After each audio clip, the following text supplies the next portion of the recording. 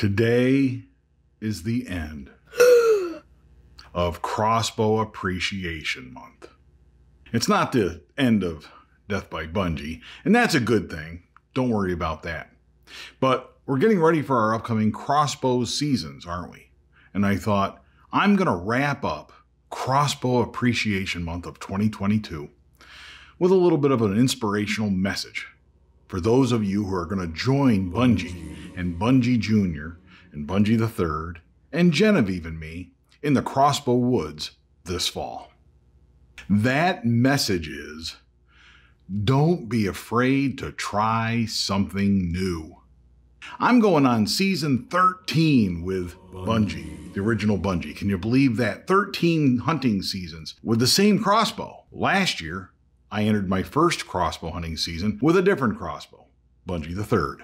I've gotten comments from people throughout Crossbow Appreciation Month that make me pause a little bit. They make me wonder. And they kind of make me feel sad because some people just don't like the idea of change at all. And I totally get that. Again, 13 seasons with the OB. But I don't know if that's in your best crossbow hunting interest to not change gears once in a while, to not try something new. People were critical of the new scope that I've got on Bunjie the Third, but frankly, I think that's the direction that crossbow hunting technology is probably going to go in. We might as well embrace that now, learn that now, and make the best of it.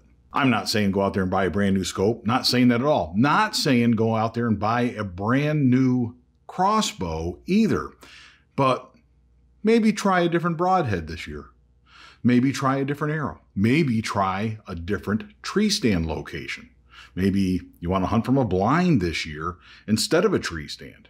Read this book and maybe incorporate a method or two out of this book into your crossbow hunting method that's a good way for you to sort of mix things up this year and learn something new. Very interested to try out the slick black Cadillac here in the upcoming Maryland early crossbow season. So there you have it, friends of Bunjie. That's a wrap on the 2022 Crossbow Appreciation Month. I hope you got something out of it. I hope you had as much fun tinkering and learning new things as I did. And I hope you'll join me for future episodes of Death by Bunjie as we resume our normal every week video schedule. Okay, that's the plan anyway. So good luck out there in the crossbow hunting woods. And until next time, all hail Bunjie.